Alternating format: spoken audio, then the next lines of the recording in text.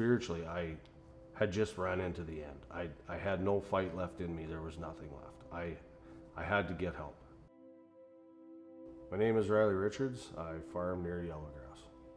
It's just a tight community, and that's what's the best part about growing up in rural Saskatchewan.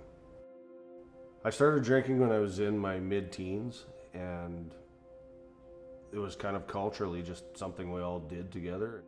Many times through my 20s, I knew I kind of had a problem. I couldn't really control how much I was drinking anymore. My mental health definitely deteriorated over the years. Anxiety was starting to be a big, big player in what was going on. As I spent time on my own, depression was starting to really sink in, and I was starting to become numb and really losing the ability to really feel what was going on in my life. When I made the decision to quit drinking, I had the conversation with my wife that I need to get help. I, I can't do this on my own anymore. And it wasn't the first time we'd had the conversation, but this time I really was at my rock bottom. I, I needed to get help.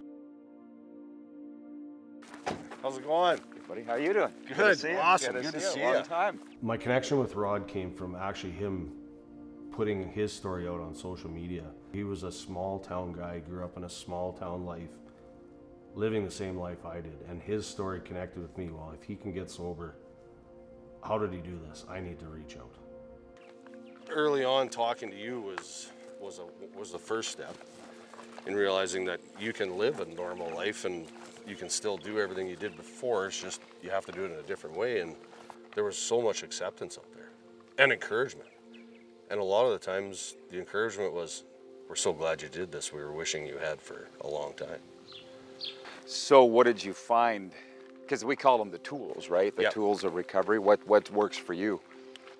really slowing everything down. That that one day at a time for me is is huge. Is the minute I look too far ahead is the minute that I'm I'm already thinking about things I can't control. What's the hardest thing in recovery? Reaching out for help and admitting you have a The problem. start. The start. The Yeah. start. The start is the hardest thing. It's it's the biggest mountain you'll climb is actually admitting and to another person that you have a problem and reaching out to another person to get help. The best part of the recovery process for me, my kids are at a young age where they're having a lot of experiences and I actually get to enjoy that now with my wife. I'm present for everything that they do. I'm involved in their kids' sports. I'm involved in spending time with them and I'm here and that's what really matters and I'm not missing out on them growing up because I was missing out before.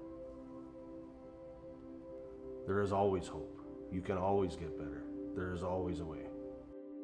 If you are ready to get help, reach out to saskatchewan.ca slash mental health awareness.